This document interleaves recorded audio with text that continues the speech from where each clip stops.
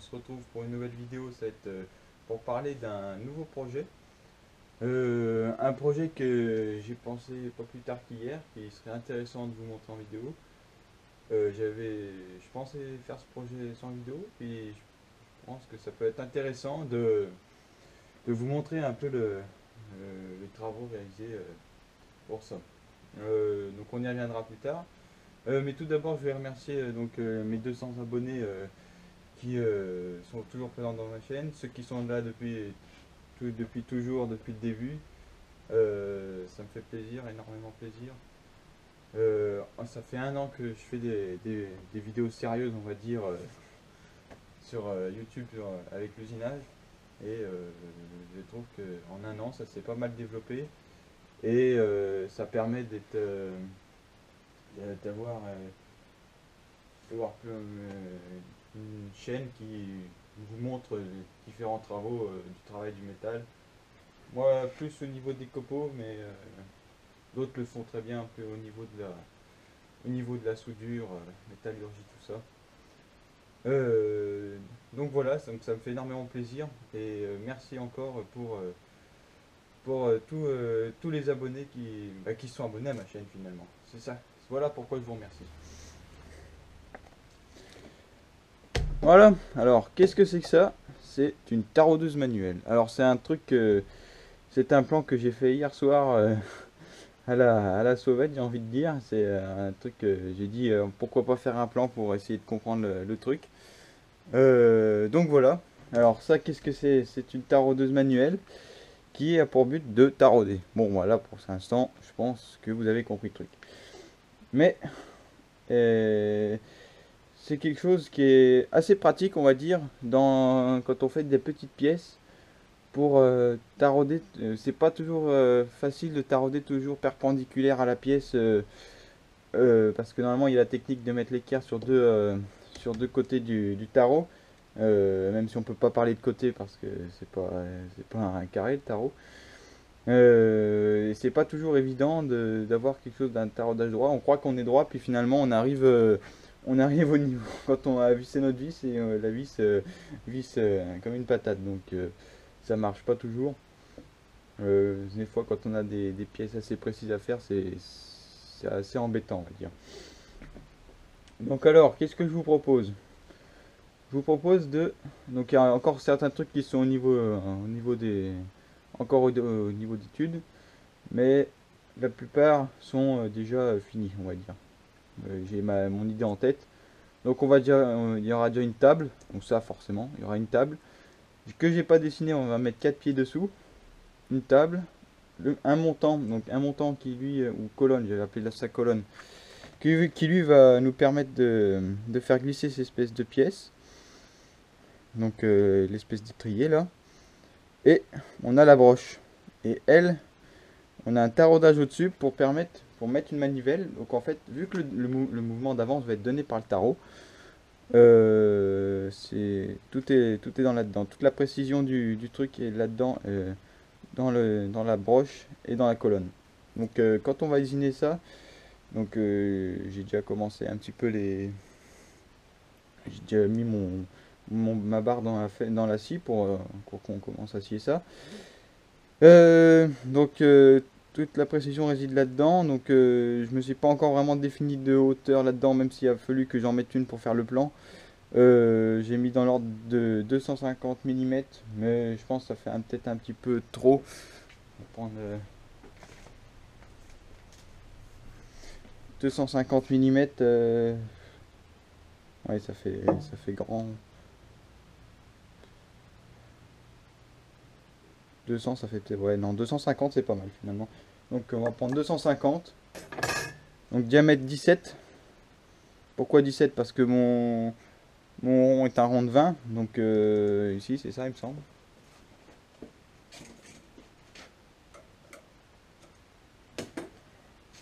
Oui c'est ça donc on va le descendre à 17 on va l'usiner en je pense qu'on va l'usiner en contrepoint en entrepointe euh, comme ça, on pourra bien voir euh, l'écart, euh, s'il y, a de la conicité ou pas. Donc, ça sera intéressant. Donc, ce que je vous propose aujourd'hui, ce sera le tout début. Ce sera d'usiner cette partie-là. Et dans les prochains jours, on, se concentrera plus sur la base pour avoir commencé, pour commencer déjà à avoir, pour commencer sur de bonnes bases. Donc voilà, on va commencer par le sillage du montant. On va regarder à peu près qu'on soit à 250, on est à 220 volts. Euh,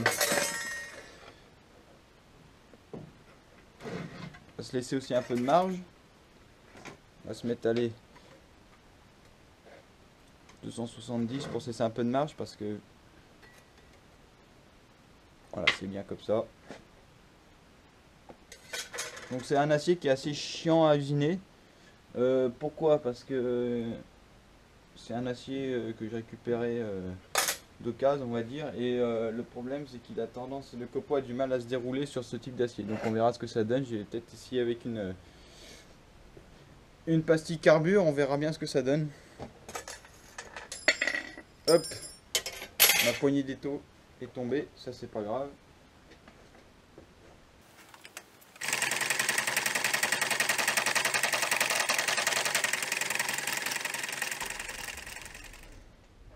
Donc voilà, j'ai mis en...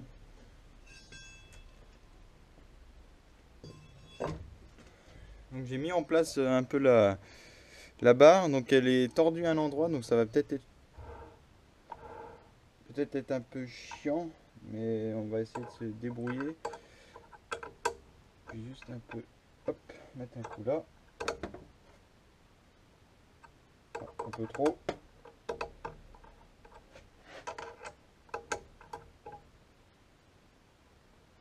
Donc en général, moi avant de centrer au comparateur, donc là je ne centrerai pas au comparateur, il y en a, j'en ai pas l'intérêt pour une barre pareille.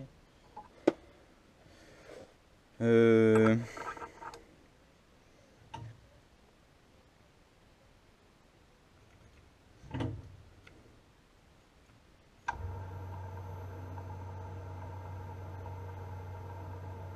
Donc ça tourne vraiment pas rond.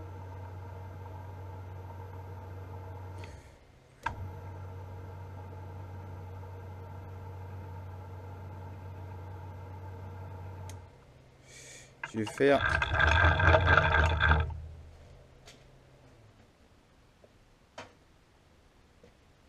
La bonne méthode de l'outil. Pour voir un peu les dégâts. Essayer de vous montrer comme ça.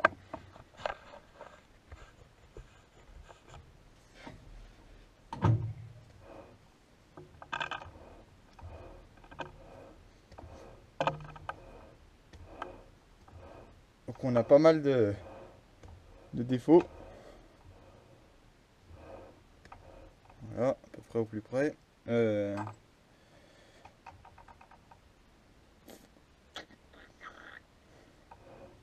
Hop. Mon point haut là. À desserrer ici.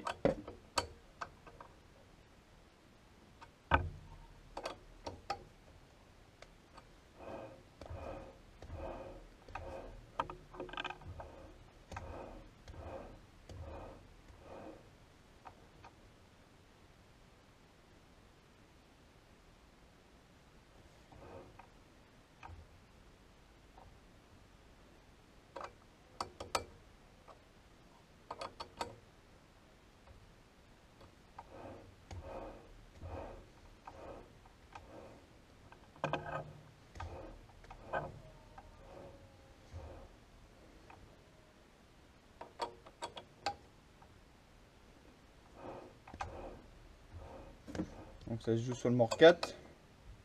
Là. Et là c'est pas trop mal.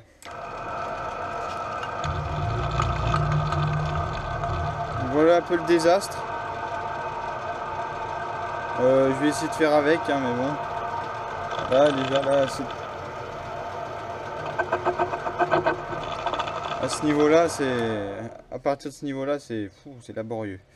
Euh, J'avais pas prévu ça ça, va vraiment pas bien, ça me fait chier en parlant poliment. Hop, on va prendre un outil CNMG pour mettre toutes les chances de notre côté, j'ai envie de dire. Voilà. Donc je vais essayer de dégrossir au maximum la pièce, on va voir ce que ça donne. Et puis du coup oui j'ai pas mis entre, pointes comme vous l'avez remarqué euh, parce que voilà, voilà pourquoi je l'ai pas mis entre pointes. Donc c'était vraiment pas prévu au, au Schmidt-Blick. Je peux dire ça comme ça. Donc là je suis au maximum de capacité de tour, moins.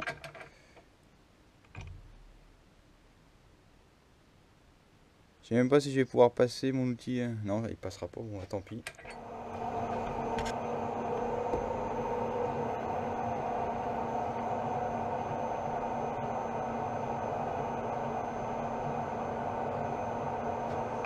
Bien la contrepointe pour éviter d'avoir trop d'emmerde. Ah là c'est le. Là c'est vraiment le désastre.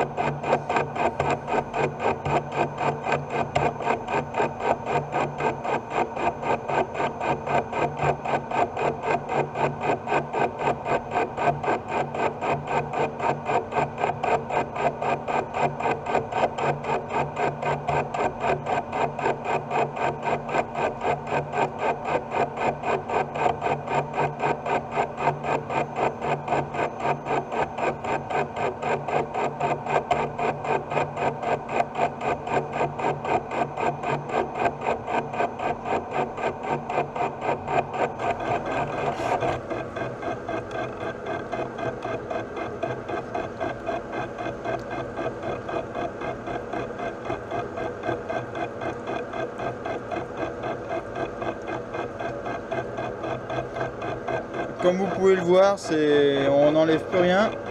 Je vais reprendre une passe. Une passe de 1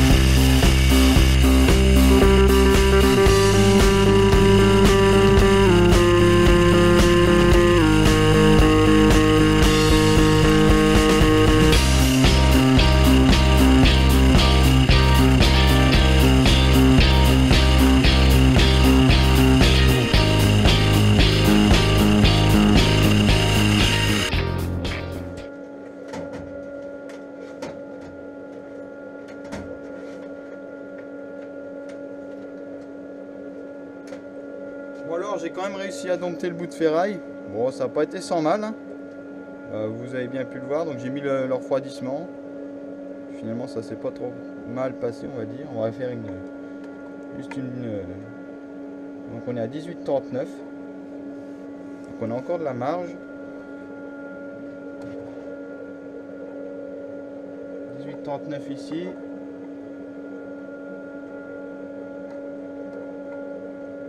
18,28, 18,39 là. 18,28 ici. 18,17. On a un dixième de défaut euh, sur le...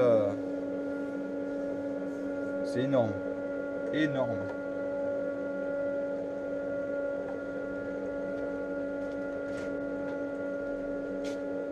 Quand c'est comme ça, euh, prenez un, un micromètre parce qu'en général un pied à coulisse numérique, euh, ça reste un pied à coulisse numérique. hein.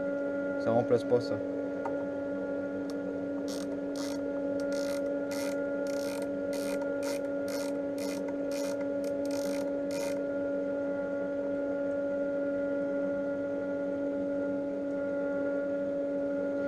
« 15, 16, 17, 18, 18, 26 là. Donc là on s'en fiche, il va y avoir un taraudage, un fitage pardon. J'ai pas encore décidé à peu près où.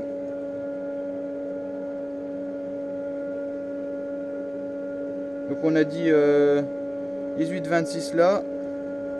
Et là on est à 18 euh, 07. Donc 2 dixièmes de défaut, c'est énorme.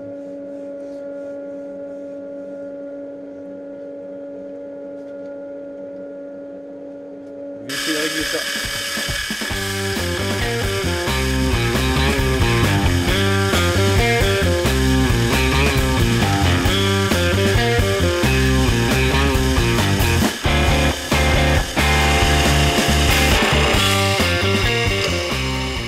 Voilà, j'ai réglé mon défaut de de euh, comment on appelle ça? D'alignement de la contrepointe et de la broche. Euh, donc j'ai réglé, j'avais 0 euh, 18 20 euh, 18 combien on avait dit, je me souviens plus moi. 18 27 18 27 ici et 18 euh, 0 ouais, je sais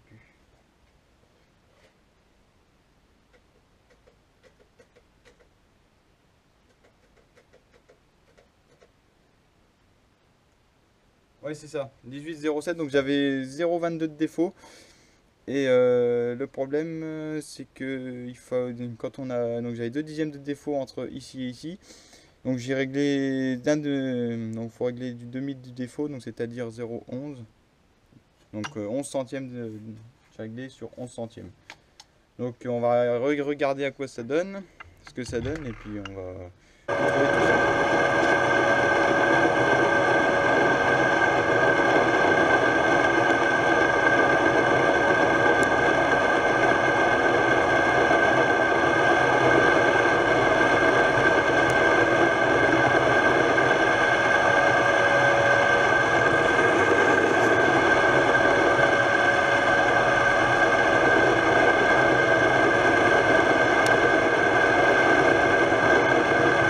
Regarder un petit peu ce que ça donne au niveau cotation. Euh, ce métal ne se laisse pas faire euh, pour l'usinage. hein. Euh, il est assez pénible à usiner, il faut tout le temps le, le fluide de coupe. Mais bon, ça devrait le faire.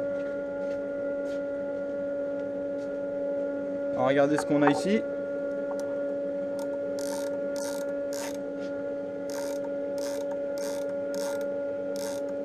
C'est.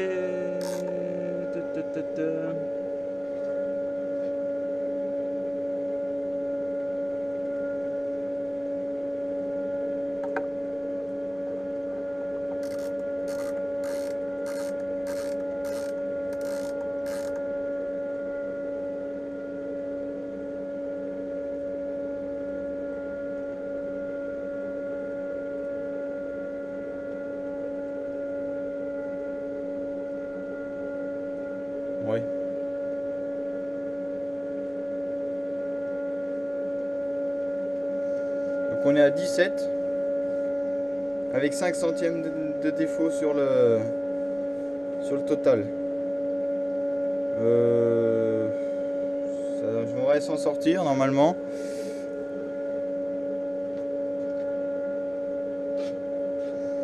Donc sur cette partie là c'est acceptable. Euh, parce que euh, on aura juste à fixer, il n'y a, rien de mobile dans celle-là. Euh, par contre sur la broche ce sera pas acceptable. Donc on essaiera d'arranger ça pour la broche. Donc ça ce sera. C'est pas pour tout de suite. Parce que je sais encore pas quel mandrin je vais mettre dessus. Donc, donc on verra bien. Donc je vais prendre une passe de finition pour finir tout ça. Et normalement ça devrait le faire. Donc maintenant on va s'occuper du filetage parce que bon euh, il va pas falloir le faire donc je pense que je vais le faire autour. Donc on va se définir à peu près une longueur.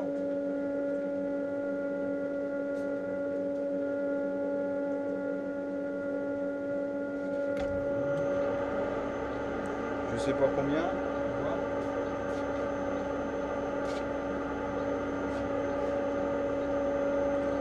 longueur de 20 serait pas trop mal. Un petit filetage. Donc on n'est pas...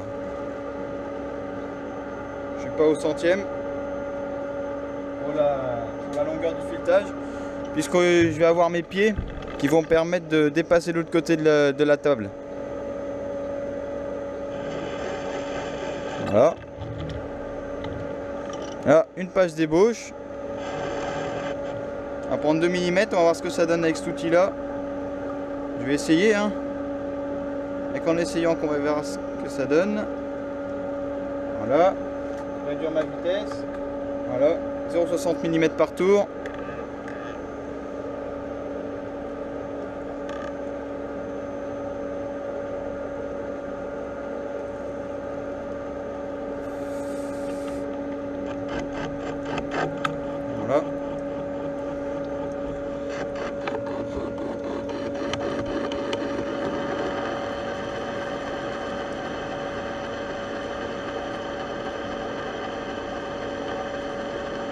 On a un beau copeau. Bon là, euh, pour, euh, un peu moins bien quand même.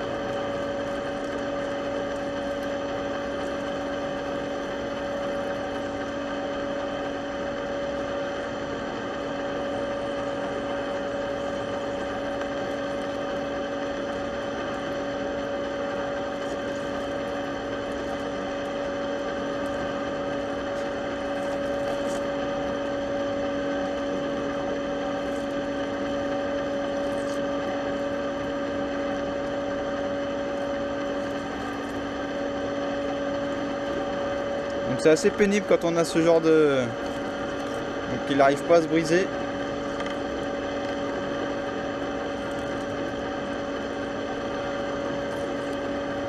Donc maintenant j'ai plus qu'à descendre jusqu'à 10, jusqu'à 10 mm.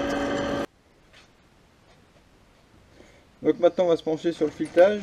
Euh, toujours le même, le même principe, inclinaison du chariot à, 30 ou 29 degrés 5, ça dépend euh, euh, moi je le fais à 30, les autres le font à 29 degrés 5. Euh, donc par rapport au longitudinal, euh, outil pointe à 60. Hop. Donc on vient se mettre ici, toujours même problème, on dessert ça. Hop là. On vient se mettre là ou là ou là, peu importe, je fais là parce que c'est... Voilà, on vient se mettre notre outil bien perpendiculaire à notre axe, à notre, aussi, euh, si, à notre axe, à notre pièce. Voilà, on serre bien.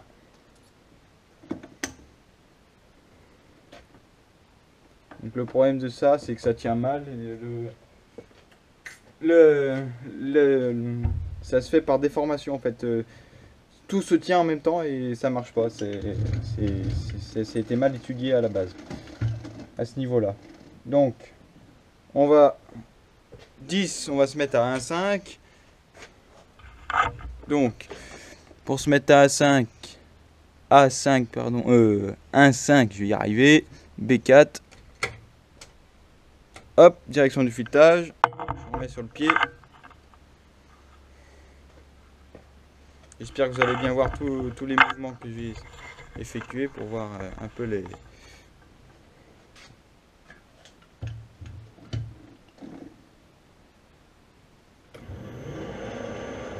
sortir. Faire une petite gorge par là.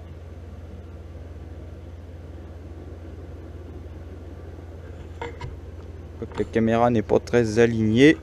Avec un Z, nous aligner. Alors.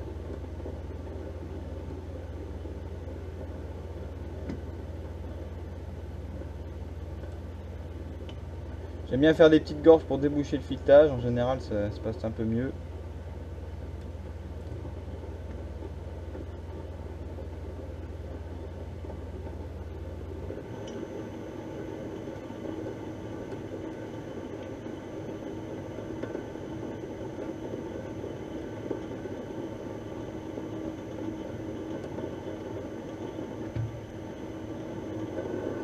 Voilà.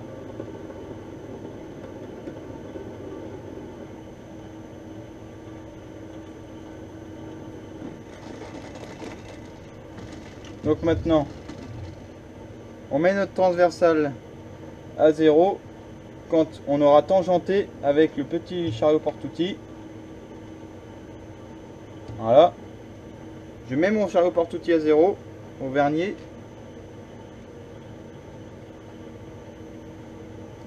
et à 0 dans ce sens là. Donc je vais prendre les passes avec celui-là. Donc on va enfiler en diagonale par rapport à, donc à 60 degrés par rapport à, notre barre. Et celui-là, je n'utilise pas pour, euh, pour couper, euh, pour prendre la profondeur de passe. Parce que quand on va prendre la profondeur de passe avec ça, les deux arêtes de coupe vont couper et en général ça fait un très mauvais fini sur le filetage. Donc en général, on peut le faire avec ça, mais le mieux c'est de le faire comme ça en inclinant notre, notre, notre chariot porte-outils, on s'en sort 100 euh, fois mieux.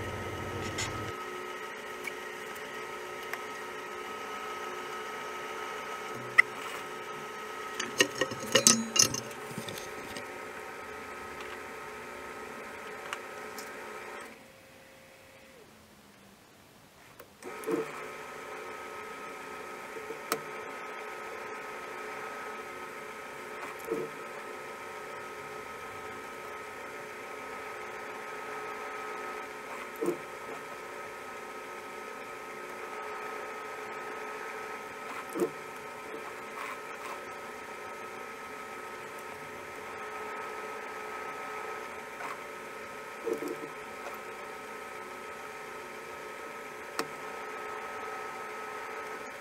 you.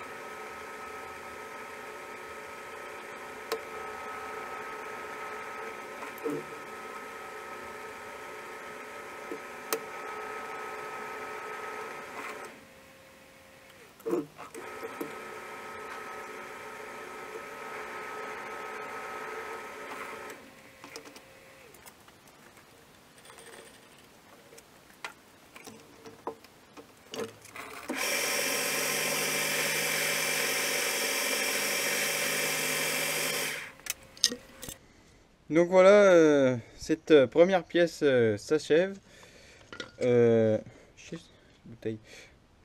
Donc on a fini le filetage.